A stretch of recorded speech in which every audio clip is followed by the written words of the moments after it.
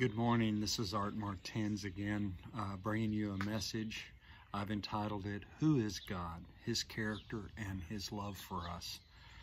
And I'll tell you, as I've been researching this, I find even though I've been a Christian for over 40 years, I'm just learning about God and His character and who He is.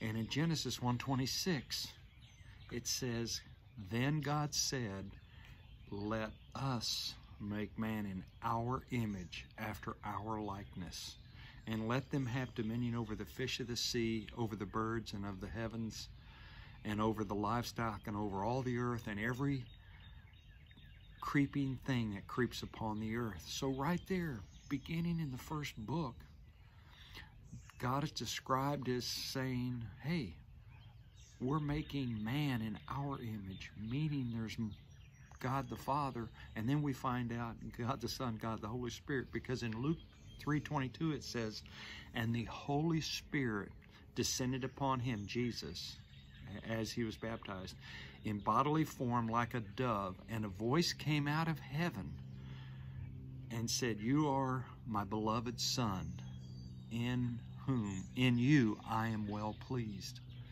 So we hear there that the Holy Spirit, God, and the Son, those are the hour that started uh, talking about in Genesis.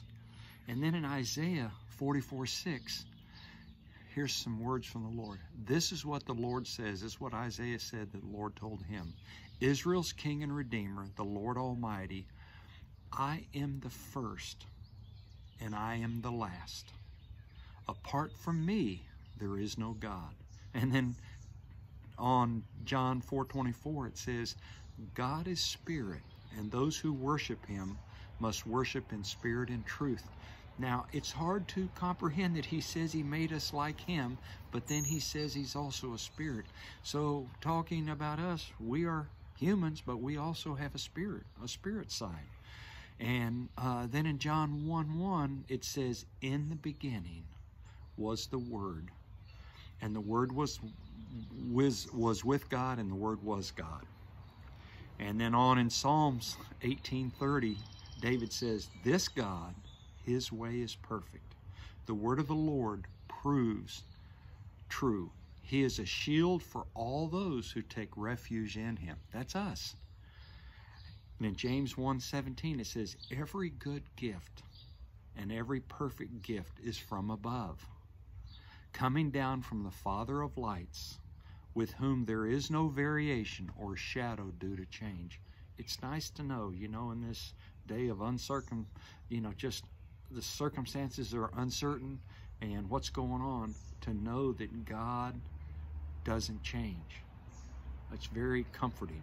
In Isaiah 40, 28, he says, Have you not known, have you not heard? The Lord is the everlasting God, the creator of the ends of the earth. He does not faint or grow weary. His understanding is unsearchable. I can't wait to get to heaven one day because I can't understand how God never started. He's always been. I just can't get my mind around that. So that's one of the many questions I have. And uh, in 2 Peter 3 9, it says, The Lord is not slow to fulfill his promise, as some count slowness, but he's patient towards you and I, not wishing that any should perish, but that all should have repentance. Now, I want to read something when the Lord was talking to Moses. And in Exodus 3 4, it says, The Lord saw Moses coming to look at the burning bush.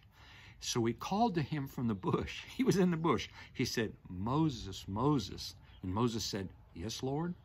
Then God said, Don't come any closer. Take off your sandals you are standing on holy ground. I am the Lord, God of your ancestors. I am the God of Abraham, the God of Isaac, and the God of Jacob. Moses covered his face because he was afraid to look at God in that burning bush. Then the Lord said, I have seen the troubles my people have suffered in Egypt, and I have heard their cries when the Egyptians hurt them. I know about their pain. Now I will go down and save my people from the Egyptians. I will take them from the land that leads them to a good land where they can be free from these troubles. It is a land filled with many good things. Many different people live in that land the Canaanites, the Hittites, Amorites, Perizzites, Hivites, and Jebusites. I have heard the cries of the Israelites, and I have seen the way the Egyptians have made life hard for them. So now I'm sending you to Pharaoh. Go, lead my people, the Israelites, out of Egypt. So there was the Lord sharing with Moses his heart about what was happening to the uh, Israelites. And in Psalm 35, it says, For his anger is but for a moment, and his favor for a lifetime. Weeping may tarry for the night, but joy comes in the morning.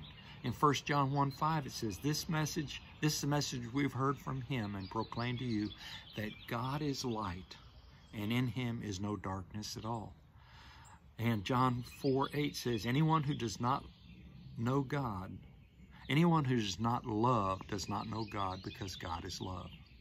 John 4 26, But the Helper, the Holy Spirit, whom the Father will send in my name, he will teach you all the things and bring you to remembrance all that I have said to you. So we know in Hebrews it says Jesus in Hebrews 13 8, Jesus Christ is the same yesterday, today, and forever. John 3:16, one of my favorite verses, for God so loved the world, us, that he gave his only son, that whosoever believeth in him should not perish but have everlasting life. John 14:6 finally says Jesus said to him, I am the way, the truth, and the life. No one's come to the Father but by me. So, in your study, find God and know that he loves you. He loves me. So, with that, let me pray for us. Lord, I just pray for this group. I pray that they would find you in a deeper way. Thank you for everything, for your blessings. I ask you to bless these people and my family too. In Jesus' name, amen. God bless you until we see you again. Bye.